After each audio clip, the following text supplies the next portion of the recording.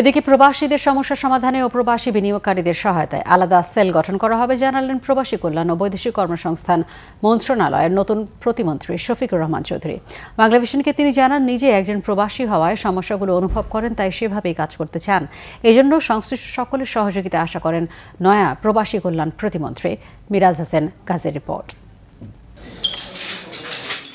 প্রতিমন্ত্রী হিসেবে শপথ নেওয়া সহ রাষ্ট্রীয় কিছু আনুষ্ঠানিকতায় অংশ নিতে ঢাকার পল্টনের একটি হোটেলে নেতাকর্মী সহ উঠেছেন শফিকুর রহমান চৌধুরী।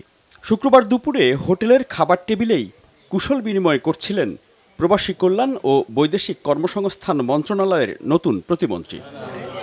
ব্যস্ততার এক ফাঁকে আলাপচারিতায় প্রবাসীদের কল্যাণ এবং বৈদেশিক কর্মসংস্থান খাত নিয়ে প্রাথমিক পরিকল্পনা জানান প্রতিমন্ত্রী শফিকুর রহমান চৌধুরী। আমি নিজেও প্রবাসী, তাদের জানমালের নিরাপত্তা বিধানের লক্ষ্যে কাজ করব প্রবাসীদের সমস্যা সমাধানের লক্ষ্যে একটা প্রবাসী সেল গঠন করব, যে সেলের মাধ্যমে প্রবাসীদের সমস্যা সমাধানের লক্ষ্যে কাজ করে যে সেলটি। এই সেলের মাধ্যমে তারা যাতে, যারা ইনভেস্ট করতে আসবে, তাদের যাতে ইনভেস্টমেন্ট করতে পারে সরাসরি সহজভাবে, সহজ পদ্ধতিতে। ব্যবসা বাণিজ্য করতে পারে সেদিকে লক্ষ্য রেখে কাজ করব। উনিশশো আটাত্তর সালে প্রবাস জীবন শুরু শফিকুর রহমান চৌধুরীর। ছিলেন যুক্তরাজ্য আওয়ামী লীগের রাজনীতিতে সক্রিয় নেতা। নতুন প্রতিমন্ত্রী বললেন কাজে ভালো ফল পেতে হলে পুরো টিমের সহযোগিতা ও আন্তরিকতাও জরুরি।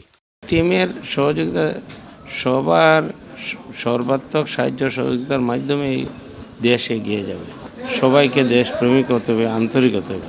আন্তরিকতার সাথে যদি আমরা সবাই কাজ করি মাননীয় প্রধানমন্ত্রীর মতো তাহলে একচল্লিশের ভিতরেই আমরা স্মার্ট বাংলাদেশের রূপান্তরিত বিশ্বনাথ ও ওসমানীনগর উপজেলা নিয়ে গঠিত সিলেট দুই আসনে দু আটে প্রথমবার এমপি হন তিনি। এরপর দ্বাদশ জাতীয় সংসদ নির্বাচনে দ্বিতীয়বার সংসদ সদস্য হয়ে পেলেন প্রবাসী কল্যাণ ও বৈদেশিক কর্মসংস্থান মন্ত্রণালয়ের প্রতিমন্ত্রীর দায়িত্ব। শুধু আমি না আমার এলাকার মানুষ সিলেটবাসী দেশে বিদেশে যারা বসবাস করতেছে সবাই আনন্দিত। মিরাজ হোসেন গাজী বাংলা ভিশন ঢাকা।